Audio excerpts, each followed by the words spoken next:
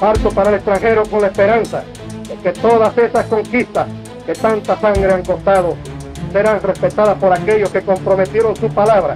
Las constituciones han sido, son y serán durante mucho tiempo todavía simples pedazos de papel.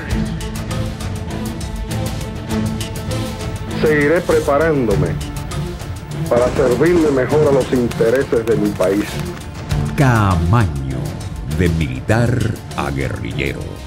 La sorprendente historia del coronel Francisco Alberto Camaño Deñó, su entrenamiento guerrillero y el trágico final del comandante Román en Caracoles. Largometraje documental escrito y dirigido por René Fortunato. Solo en cines